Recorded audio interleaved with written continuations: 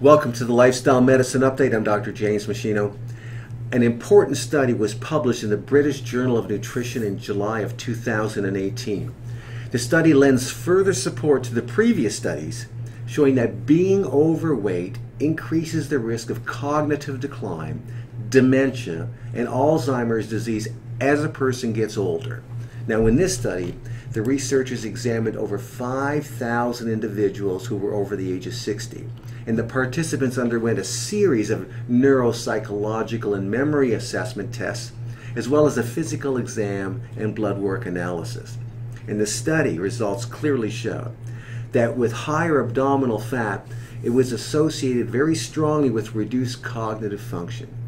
These individuals also had higher inflammatory markers in their blood analysis and a higher hemoglobin A1C reading. What does that mean? Well, previous studies have shown that as abdominal fat increases, that abdominal fat secretes these inflammatory chemicals called cytokines that directly increase brain inflammation, the kind of brain inflammation that leads to brain damage associated with dementia and cognitive decline. So a key marker in the blood to see if you have this kind of uh, inflammatory marker is to look at the blood level of what's known as C-reactive protein.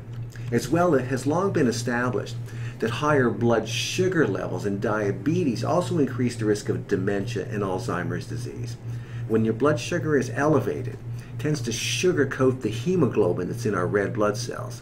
And the sugar-coated hemoglobin then forms crystals that lodge in the blood vessel wall causing damage and can also produce inflammation in the brain and in other tissues. So the amount of sugar-coated hemoglobin in your blood is measured as the hemoglobin A1C blood test. So the higher the level, the more sugar coating is going on.